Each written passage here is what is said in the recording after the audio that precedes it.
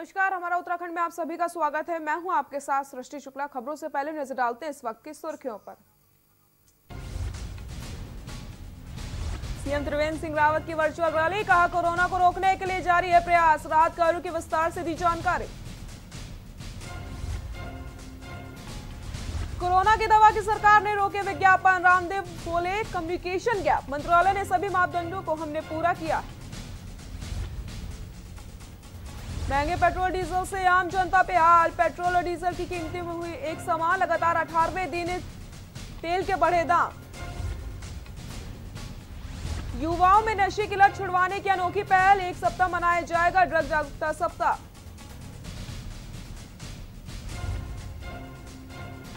उत्तराखंड में कोविड के 103 नए मामले, उधम सिंह नगर में निकले सबसे ज़्यादा 26 केस, राज्य में संक्रमितों का आंकड़ा पहुँचा 2500 के पार। उत्तराखंड में दो दिन की देरी से पहुँचा मानसून। अगले 48 घंटे में कई जगह बारिश होने का अनुमान, मौसम विभाग ने किया अलर्ट। आप देख रहे हैं की न्यूज़ खबरों का सारथी। रुक करते हैं खबरों का। उत्तराखंड के मुख्यमंत्री त्रिवेंद्र सिंह रावत ने चक्राता विधानसभा क्षेत्र की वर्चुअल सभा को संबोधित किया है। मुख्यमंत्री ने कोविड 19 के संक्रमण को रोकने के लिए राज्य सरकार द्वारा किए जा रहे प्रयासों की जानकारी दी है। उन्होंने आर्थिक गतिविधियों को बढ़ाने और किसानों, उद्योगों, प्रवासियों, पर्यटन से जुड़े लोगों को सहित आम जान आमजन को राहत पहुँचाने के लिए किए गए कार्यों के बारे में विस्तार से बताया है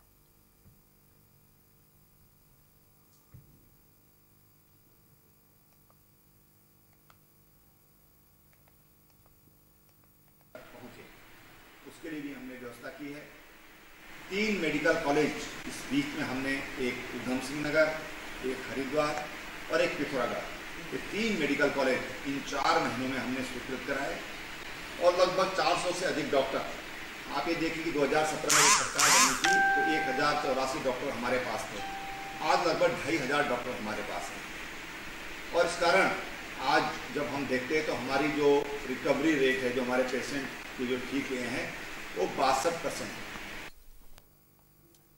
वर्तमान में युवाओं में बढ़ रहे नशे की लत को रोकने के लिए उत्तराखंड पुलिस द्वारा 22 जून से 28 जून तक 2020 तक ड्रग जागरूकता सप्ताह मनाया जाएगा ऑपरेशन उदय के चलते युवाओं को जागरूक किया जाएगा जहाँ युवाओं ने नशे के विरुद्ध बहुत सुंदर लैब सॉन्ग बनाया है जिसमें पिथौरागढ़ के रैपर विजय जोशी द्वारा इसको गाया गया है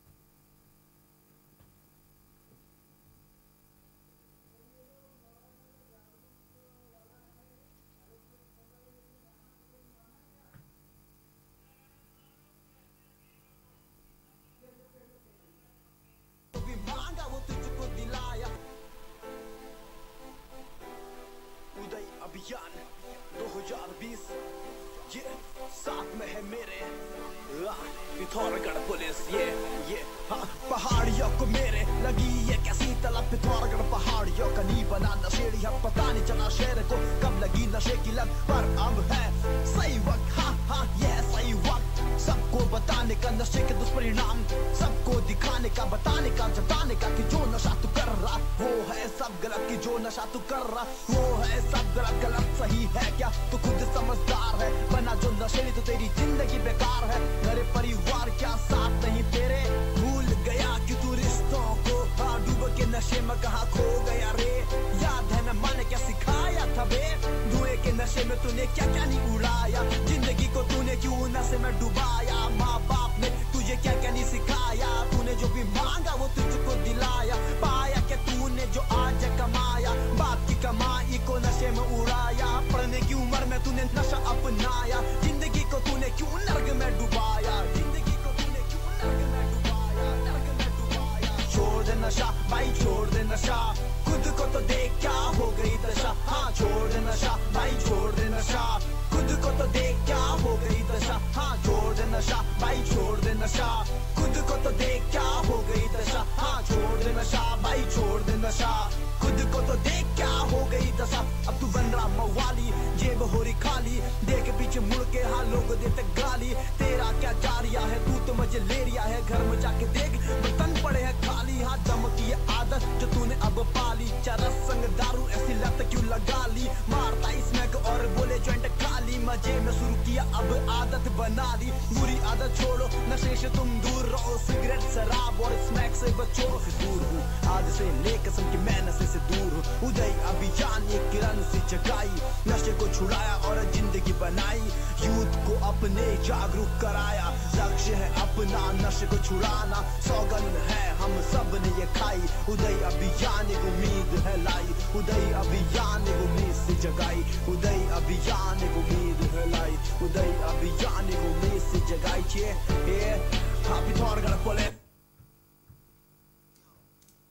हाँ रुड़की जेल में बंद कैदी का एक वीडियो इन दिनों जमकर वायरल हो रहा है। ये वीडियो कुख्यात बदमाश चीनू पंडित द्वारा बनाया गया है, जिसमें शहबाज नाम का कैदी जेल प्रशासन पर नशे का इंजेक्शन देने के पिटाई का आरोप लगाते हुए अपने घाव दिखा रहा है। इसके बाद दूसरे कैदी जेल प्रशासन मुर्दाबाद के नारे लगा रहे हैं।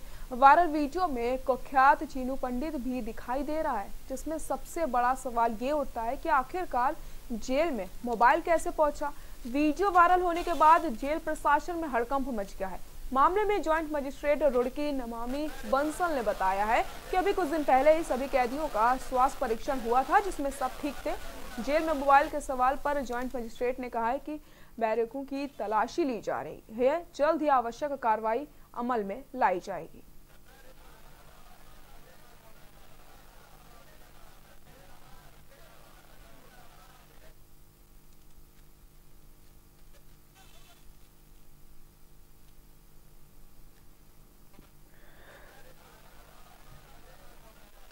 देखिए जो ये वीडियो प्रकरण है इसमें यही जानकारी लेने गए थे कि किस समय अ, जो बंदी है संबंधित, जिसके साथ जिसको चिकित्सकीय उसके लिए ले जाया गया था, उसका क्या समय था रोस्टर रजिस्टर की जाँच की गई और साथ ही साथ जो जेलर है काला पानी महोदय उनसे भी जानकारी ली गई कि किस समय डॉक्टर की विज़िट हुई थी, किस प्रकार से पूरा मामला है। तो इस संबंध में लिखित आख्या के लिए उनसे कहा गया है और लिखित आख्या से सारे तथ्यों को उजागर। भाजपा और पुलिस और जंगलात की संयुक्त टीम ने गाँव थापक नगला में दो घरों में छापेमारी करी है। खैर के तेरह गिल्टे बरामद किए गए हैं। पुलिस टीम को देखते ही आरोपी फरार हो गए। बरामद खैर गिल्टों की कीमत करीब पचास हज़ार रुपए आंकी जा रही है। आरोपियों के खिलाफ मुकदमा दर्ज कर लिया गया है।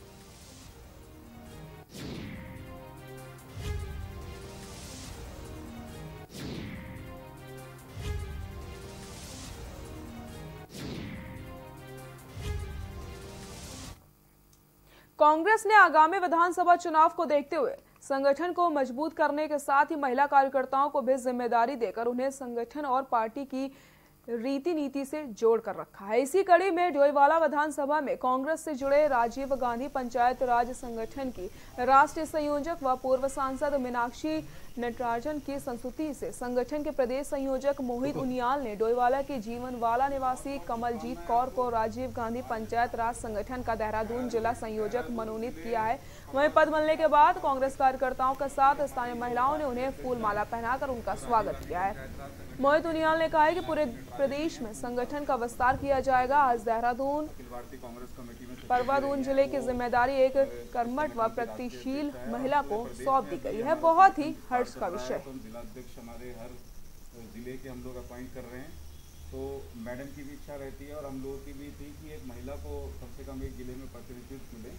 क्योंकि हम बातें तो बहुत करते हैं, भाषण बड़े बड़े करते हैं कि महिलाओं को आगे बढ़ाने का मौका देता है संगठन, मगर जब पद देने का कोई बात नैनीताल हाई कोर्ट ने अधिवक्ता दुष्यंत मैनाली व हरिद्वार निवासी सचिदानंद डबराल व अन्य के द्वारा दायर जनहित याचिकाओं की वीडियो कॉन्फ्रेंसिंग के माध्यम से सुनवाई करते हुए न्यायमूर्ति सुधांशु धूलिया व न्यायमूर्ति रविंद्र मैठाड़ी की खंडपीठ ने राज्य सरकार को निर्देश दिए हैं कि जब तक बोर्ड की सभी परीक्षाएँ पूरी नहीं हो जाती, तब तक परीक्षा केंद्रों को प्रत्येक दिन सैनिटाइज किया जाएगा। वहीं कोर्ट ने यह भी कहा है कि प्रदेश के जिन ग्राम प्रधानों को वायरस से लड़ने के लिए फंड अभी तक नहीं दिया गया है, उनको 13 जुलाई तक फंड उपलब्ध करवाया जाए।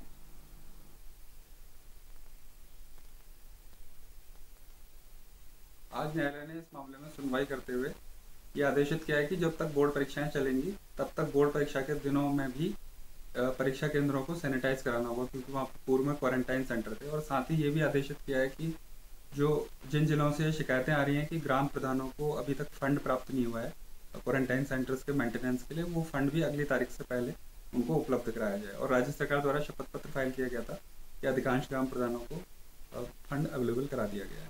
मामले की अगली सुनवाई तेरह जुलाई को।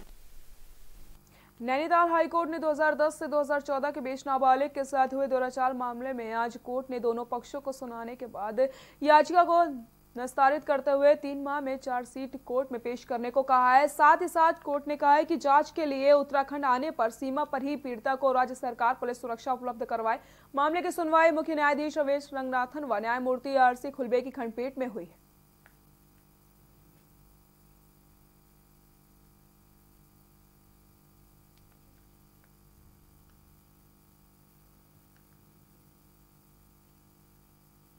शैलवाला पांड्या एवं उत्तराखंड सरकार के विरुद्ध जो याचिका दाखिल की गई थी, उसको आज माननीय मुख्य न्यायाधीश एवं न्यायाधीश माननीय श्री आर सी खुलबे द्वारा अंतिम रूप से निस्तारित कर दिया गया है और मेरे सभी तर्कों को सुना गया और सरकारी वकील के भी सभी तर्कों को सुना गया और उसके बाद जो निर्णय माननीय न्यायालय ने दिया है।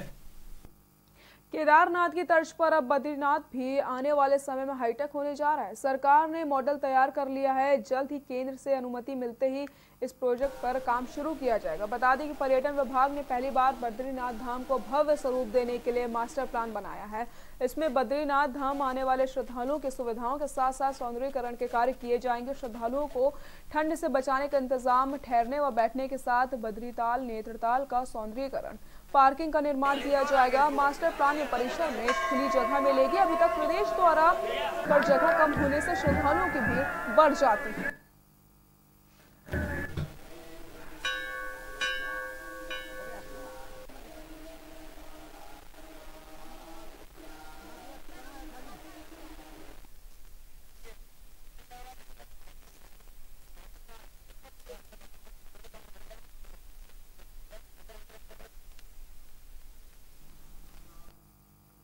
प्रदेश में बढ़ते कोरोना काल के बीच जनता के ऊपर दोहरी माल, पेट्रोल और डीजल को लेकर बढ़ गई है, जिसके चलते आज कांग्रेस किसान मोर्चा के राष्ट्रीय उपाध्यक्ष राम कुमार वालिया सहित पार्टी के कार्यकर्ताओं ने देहरादून डीएम आशीष श्रीवास्तव को बढ़ते पेट्रोल और डीजल के दामों में कटौती के लिए ज्ञापन सौंपा है। साथ ही साथ केंद्र सरकार से अभी कोरोना काल के बीच इस तरीके से पेट्रोल और डीजल के दामों में बढ़ोतरी न करने की अपील करी गई है। वही रामकुमार वालिया का ये भी मानना है कि समय दोहरी मार आम जनता के ऊपर पड़ रही है और अगर सरकार इस समय इस तरीके से दामों में बढ़ोतरी करेगी तो जनता के लिए परेशानी पैदा हो जाएगी। आज हिंदुस्तान में पहली बार पेट्रोल के, डीजल के दाम लगभग बराबर हो गए हैं। इसका मुख्य कारण यह है कि केंद्र सरकार की गलत नीति है। विश्व में सबसे ज़्यादा पेट्रोलियम पदार्थों पर टैक्स जो है, भारत सरकार ने लगा दिया है। देखिए, आज हमारी प्रमुख मांगे यही थी, जो डीजल और पेट्रोल में केंद्र सरकार ने मूल्य वृद्धि करी है, इसको वापस लिया जाए। क्योंकि भारत के इतिहास में शायद पहली बार ऐसा हुआ होगा कि डीजल और पेट्रोल के रेट बराबरी पर आ गए हैं। ये पहली बार देश में ऐसा हुआ है। और इसका सारा जो दारमदार है, वो भाजपा सरकार के ऊपर जाता है। क्योंकि भाजपा सरकार जब से आई है, तब से सबसे ज़्यादा जो ये टैक्स वसूल रही है, ये डीजल, पेट्रोल में ही वसूल रही है। देहरादून रेलवे स्टेशन पर आने जाने वाले यात्रियों को कोरोना संक्रमित यात्रियों से बचाया जा सके। इसके लिए रेलवे प्रशासन की ओर से स्टेशन परिसर में ही आइसोलेशन वार्ड बना दिया गया है। स्टेशन पर थर्मल स्कैनिंग जाँच के दौरान जिस भी यात्री के शरीर का तापमान निर्धारित मानक से अधिक पाया जाता है, उसे तत्काल अधिकारियों और कर्मचारियों की देखरेख में आइसोलेशन रूम में ले जाया जाता है, जहाँ से स्वास्थ्य विभाग के अधिकारियों को जानकारी देकर उसकी जाँच करवाई जाती है।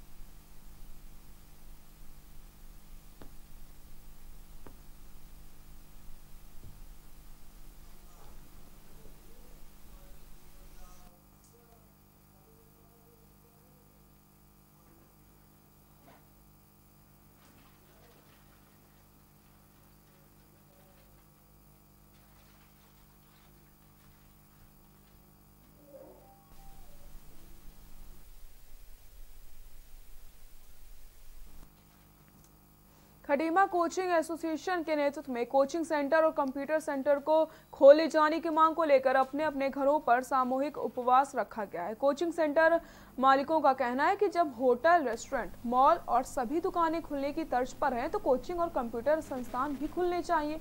संस्थान सरकार के दिए हुए नियमों का पालन करने को तैयार है। सोशल डिस्टेंस, मास्क लगाना और सैनिटाइजर का प्रयोग करके ही पढ़ाया जाएगा। कोचिंग और कंप्यूटर संस्थान की तुलना स्कूल से नहीं होनी चाहिए। इसमें पढ़ने वाले सभी बच्चे बड़े व समझदार होते हैं। जब नियमों का पालन करते हुए उत्तराखंड बोर्ड और सीबीएसई की परीक्षा कराई जा रही है, जिससे हज़ारों छात्र छात्राएँ परीक्षा दे रहे हैं, उसी तरह से कोचिंग को खोला जाना गलत नहीं होगा। कोचिंग का किराया हज़ारों रुपए चढ़ चुका है।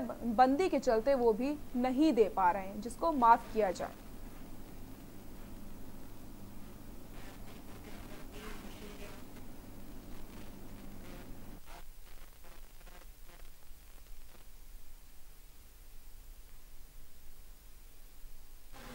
आज हमने खटीमा कोचिंग एसोसिएशन के नेतृत्व में अपने अपने घरों पे जो है हमने सामूहिक उपवास रखा है और हमारी सरकार से ये मांग है कि पूरे उत्तराखंड में जो है कोचिंग जो है इंस्टीट्यूट जो है, वो शुरू किए गए हैं। जब सरकार होटल चला सकती है बड़े बड़े मॉल चल सकते हैं तो हमारी कोचिंग क्यों नहीं चल सकती? हमारी कोचिंग में जो है बड़े बड़े स्टूडेंट पढ़ते हैं। हम सोशल डिस्टेंस का पालन जो है, पूरी तरीके से जो है, करने के लिए जो है, तैयार हैं। हम सरकार के नियमों का पूरा तरीके से जो है, जो सरकार कह रही है, हम उस नियम का पालन करेंगे। हम अपने स्टूडेंट को, अपनी फैकल्टी को मास्क लगाएँगे और सैनिटाइजर का प्रयोग करेंगे। तीन महीने से जो है हमारे कोचिंग इंस्टीट्यूट बंद पड़े हुए हैं। यहाँ रुकते हैं छोटे से ब्रेक के लिए। जल्द हाजिर होते हैं।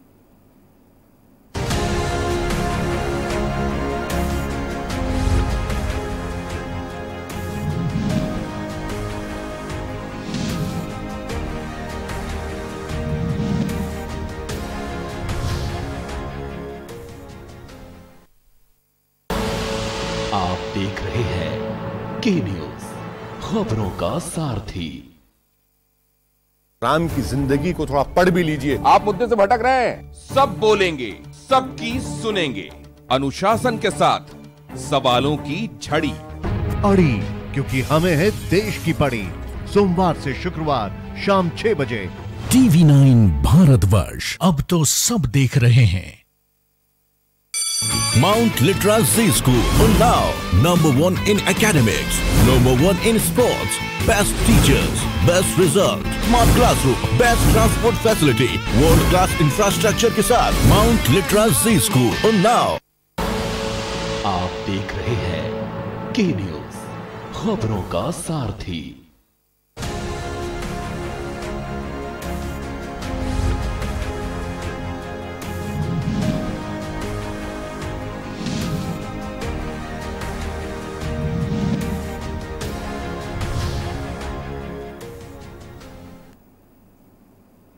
ब्रेक के बाद एक बार फिर से आप सभी का स्वागत खबर रुद्रपुर से है, जहाँ निजी अस्पताल की नर्स कोरोना पॉजिटिव आई है, जिसके बाद प्रशासन ने अस्पताल को सील कर दिया है। साथ ही साथ नर्स के संपर्क में आए लोगों का डाटा इकट्ठा किया जा रहा है। नर्स रुद्रपुर के घास मंडी की रहने वाली है और फुटेला अस्पताल में काम करती थी। युवती की कोरोना जाँच रिपोर्ट पॉजिटिव आने के बाद अस्पताल को सील कर दिया गया है। स्वास्थ्य विभाग नर्स के संपर्क में आए हुए लोगों को चिन्हित करके कार में जुट गई है।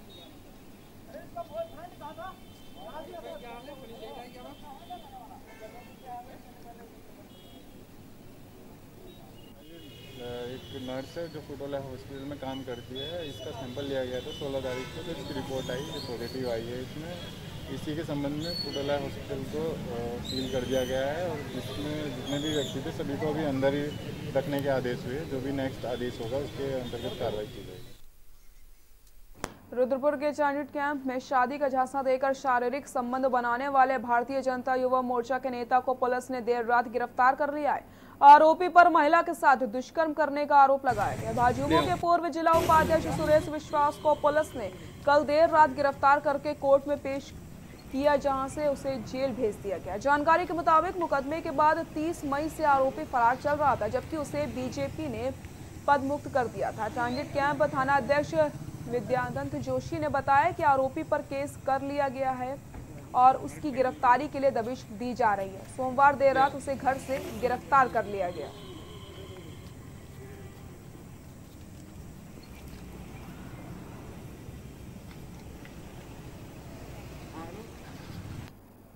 उधम सिंह ज़िले के सीमान खटीमा में उच्च न्यायालय के आदेशों के पालन के अनुसार स्थानीय प्रशासन द्वारा धर्म स्थलों को अतिक्रमण मुक्त कराकर न्यायालय में जवाब दाखिल करना था, लेकिन लॉकडाउन के कारण अतिक्रमण अधूरा ही हट पाया है। लॉकडाउन के बाद स्थानीय प्रशासन ने सख्ती करते हुए अधूरा पड़े अतिक्रमण के खिलाफ चेतावनी देते हुए इसे हटाने के निर्देश दिए। हैं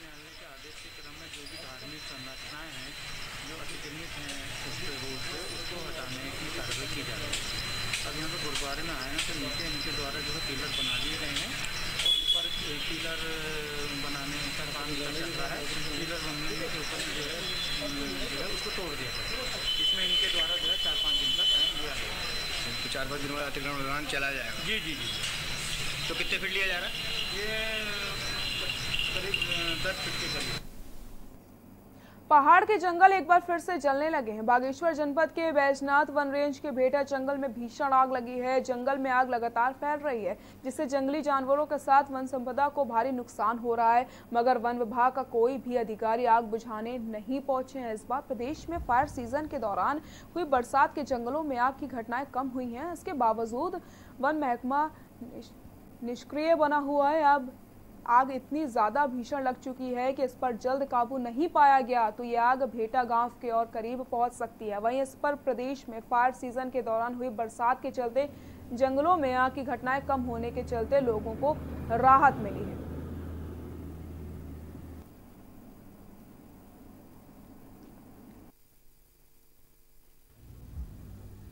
अभी तो अभी सूचना हमें तो नहीं मिली थी। तो अभी सूचना अभी जो घटना चल रहा है वो सरपंच को भी बताते हैं और लगभग लगभग ये अभी शुरुआत हो ही रही थी। तो अभी स्टाफ आ गया तो उसको इसको देखते हैं कैसे लगी क्या लगी क्योंकि फायर सीज़न तो समाप्त हो गया, बारिश का सीज़न है। तो एक दो दिन बारिश न होने की वजह से ये घटना हुई है। बाजपुर में एसडीएम ने अवैध खनन के खिलाफ कार्रवाई करते हुए एक दर्जन से अधिक वाहनों और अवैध खनन में लिप्त एक स्टोन क्रैशर को सीज कर दिया। प्रशासन की कार्रवाई से खनन माफियाओं में हड़कंप मच गया है। बता दें कि पिछले लंबे समय से प्रशासन को बाजपुर की कोसी नदी में अवैध खनन की शिकायत मिल रही थी, जिसके चलते एसडीएम एपी वाजपेयी ने राजस्व और पुलिस विभाग के साथ औचक छापेमारी करी। प्रशासन की टीम को देखते ही खनन माफिया भागने लग गए। प्रशासन प्रशासनिक टीम ने तत्परता दिखाते हुए एक दर्जन से अधिक अवैध खनन से भरे वाहन को पकड़ लिया और अवैध खनन के लिप्त स्टोन क्रैशर को भी सील कर दिया है, जिसके बाद से अवैध खनन पर रोक लगाने के लिए एसडीएम ने जिला अधिकारी के निर्देश पर पुलिस अधिकारियों के साथ बैठक करी।